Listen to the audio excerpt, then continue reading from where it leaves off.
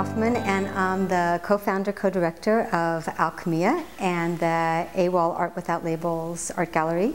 And Alchemia started about 12 years ago, and the idea behind it was to provide an environment where artists with different abilities who identify as artists could find a way to be creative and express themselves through art, through dance, through theater, through creative writing, even through film, and that we could take their original stories and creations out into the world. My name is Susan Boyle, and I'm the director of Art Without Labels.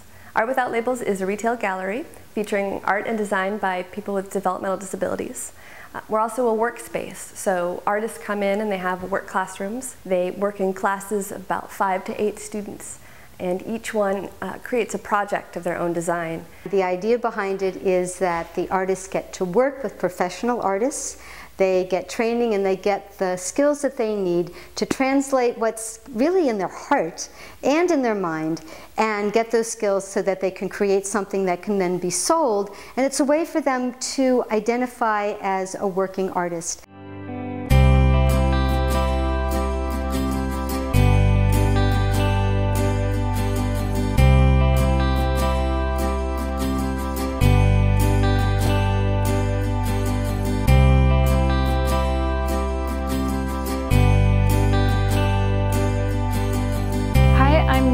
Creed. I'm a ceramic artist and I work at Alchemia. And we decided that we should make a ceramic mural about wabi sabi, which means perfectly imperfect. We generated lots and lots of drawings and ideas about their lives and how they perceive their lives and how they want others to, to see them.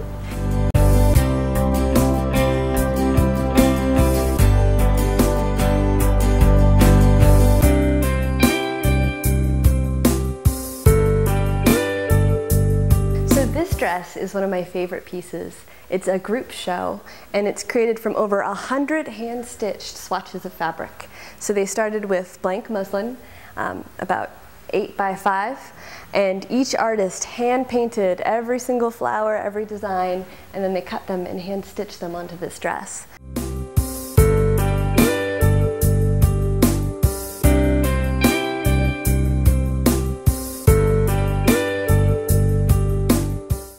One of the great parts about working here is that our artists have a, little bit of a lack of an editor. So the work that you see is really bold and really passionate and really true in a way that so often it's lacking in other artwork. Um, they're not afraid to make mistakes. They're not afraid to show up and create a piece of artwork that's unexpected. And that's beautiful. And that's a process that we feel lucky every day to get to witness.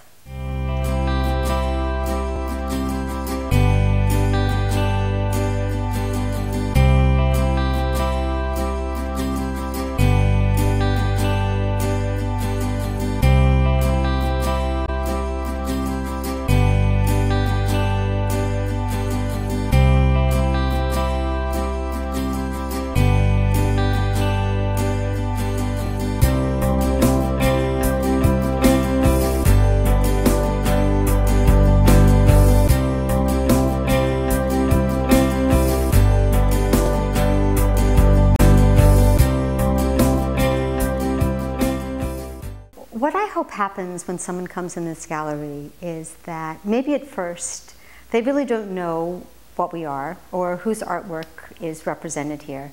And they respond to it just because there's some amazing art, some amazing images, things caught, captured in a really unique way.